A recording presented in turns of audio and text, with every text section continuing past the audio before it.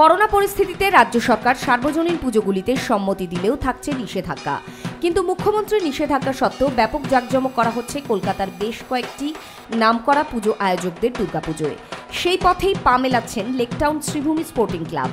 দমকল মন্ত্রী সুজিত বসুর পুজো বলে পরিচিত শ্রীভূমি স্পোর্টিং ক্লাবে এবছরের থিম কেদারনাথ। বিগ বাজেটের এই পুজোয় এদিন পড়ানো হয় পঁচিশ কেজি রত্নখচিত সোনার গয়না। দমকল মন্ত্রী সুজিত বসু খুবই আশাবাদী হয়ে বলেন, এটা ট্র্যাডিশনালি হয়ে গেছে, এখন শ্রীভূমিতে প্রতি বছরই মায়ের গয়না, এটা পরানো হচ্ছে। আর গয়নাটা আমাদের কেউ স্পন্সর করে, এবারও স্পন্সর আছে আমাদের। আর আমরা চাই এই গয়নাটা যেটা পরাচ্ছে তার প্রতিবারই কিছু না কিছু তারতম্য থাকে। এবারে আমাদের যেহেতু কেদারনাথ হচ্ছে, গয়নার ডিজাইনও কেদারনাথের স্টাইলেই হয়েছে।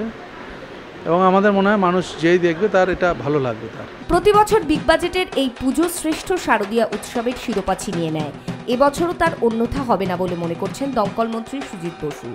Bureau report, Nobel Bangla.